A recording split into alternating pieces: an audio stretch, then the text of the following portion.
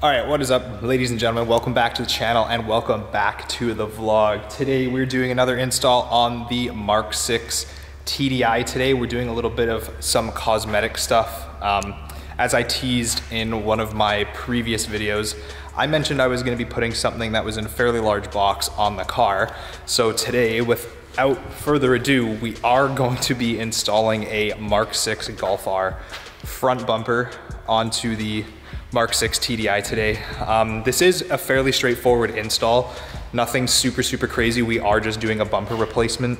However, we are going to be replacing the factory fog lights that come on the car with the little LED strips that go on the Mark 6R front bumper that look like this.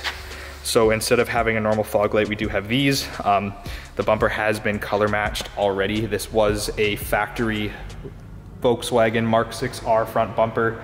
So this is hopefully going to fit absolutely perfectly.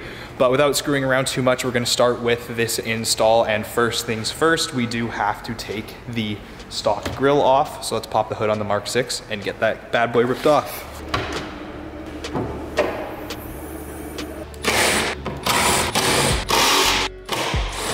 So there are four bolts on the top. They're just T25s.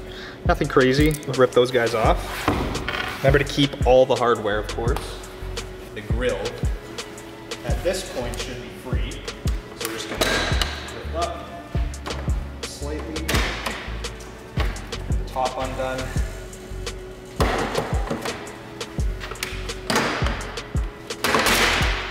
And then just kind of slides forward and out.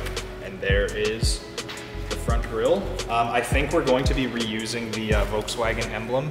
When it comes to that, I will show you guys how to get that off, but put that aside for now. And here's an interlude of my dumbass realizing that I needed to take the wheels off, so now I have to put it on the lift.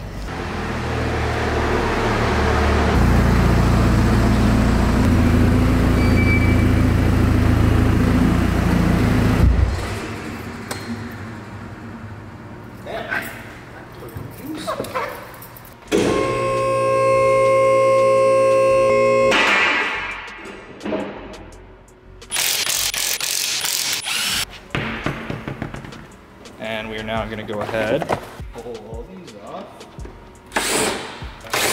Two T25s up front, super simple. Drop those bad boys.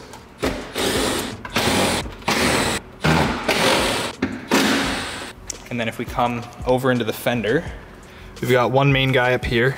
So you wanna get that guy right there. There's another one directly behind that, right here. Another one there, and two more down here. You're gonna undo both of those and those are all T25. So we'll rip those out.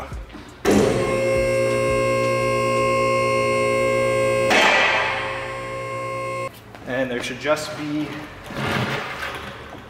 these guys.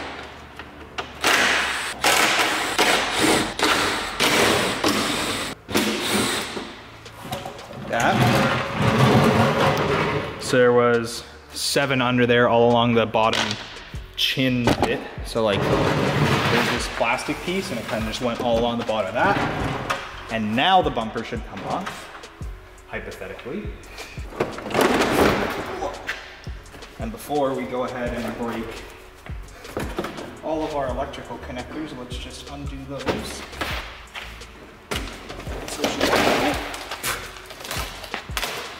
And there we go bumper is off.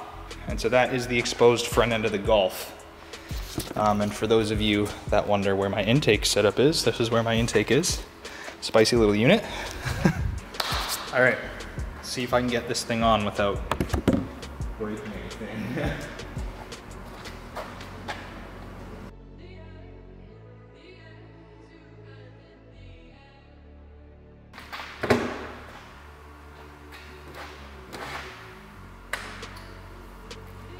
Yay, it's not even a color match, bro.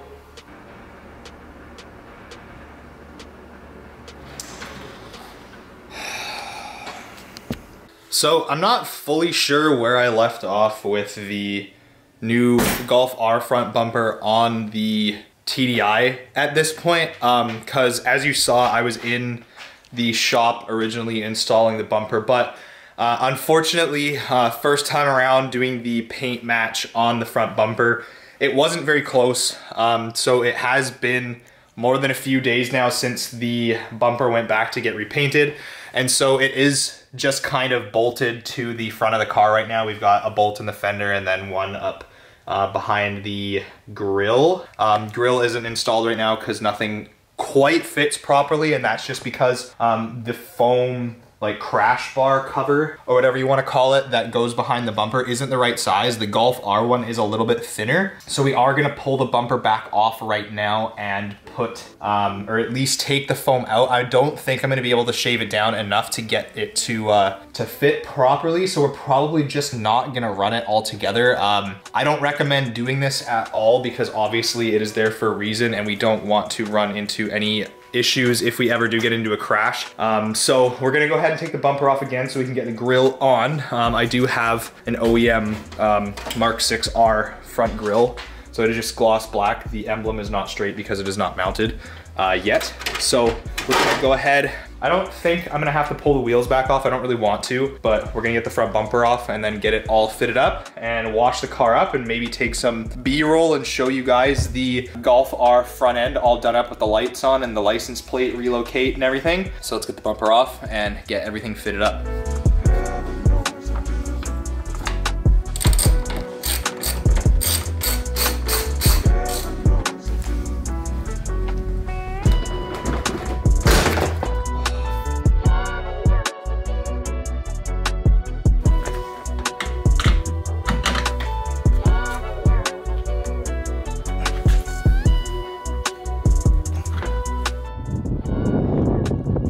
All right, so the front bumper is on the Golf. It looks absolutely fantastic now that it's got the grill on and the wheels and everything. The car does look super, super sick with the Golf R front end on it now. So, um, I don't really know what other cosmetic mods I need to do at this point to the Golf. I might do um, the side skirts um, for the Golf R because we do have the four door version in North America. We didn't get the two door. Um, and I also kind of want to do a, uh, a Battle Aero wing. I want to do the big chassis mount wing for this car because obviously I am going to try to track this car as much as possible. And then as I mentioned in uh, my other video, we have to put these bad boys in the car next. So we're going to be doing that. But that is uh, that is about it for today's video, ladies and gentlemen. Um, so if you are new to the channel and you are not a returning subscriber, uh, make sure to like this video, subscribe, um, drop a comment. And I would like to see a lot of your guys' builds and stuff. If you want to go ahead and follow me on Instagram at TJ Walt, send me your Mark 6s or send me your Volkswagens, your Audis, whatever car you got. Really like to see what, um, what all of my subscribers are driving. But anyways, guys, peace out. I will see you in the next video.